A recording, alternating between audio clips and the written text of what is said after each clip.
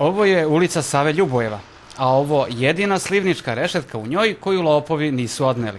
Na preostala četiri mesta od raskrsnice sa ulicom Felegitivadora do ulice Kraljevića Marka, umesto rešetki i poklopaca za šahtove, sada su samo rupe.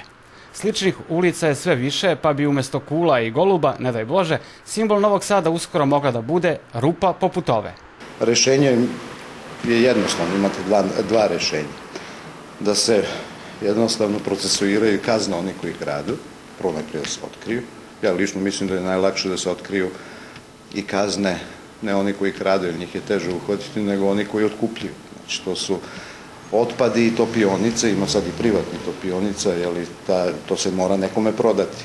Njih nema toliko, ima ih mnogo koji kradu, ali ima malo onih koji otkupljuju. I to je veoma lako utvrditi, pošto ti to ne može sakriti, to je razbijeno, ali se vidi da je poklopac i vidi se da je slivnička rešetka. Umesto odlivenog vožđa, poklopci rešetke mogli bi da se prave od moduliranog lima, materijala koji je teže polomiti, a ni ne isplati se njegova prodaja. Uz to postoje i gumeni poklopci o čijoj se nabavci za sad ne razmišlja. Ono što jeste u planu je da se na neki način u čuvanje poklopaca za šahtove i slivničkih rešetki uključi i komunalna policija.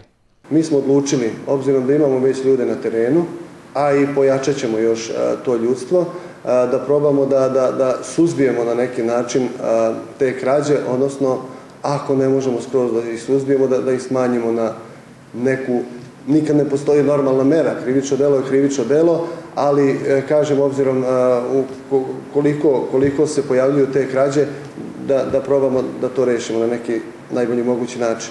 Iz Bečeja nam je skoro stigla vest da je tamošnja pošast sve učestalija krađa saobraćajnih znakova – ali hajde da ne dajemo novu ideju ovdašnjim lopovima. Mada time bismo se lakše pravdali zašto idemo u pogrešnom smeru.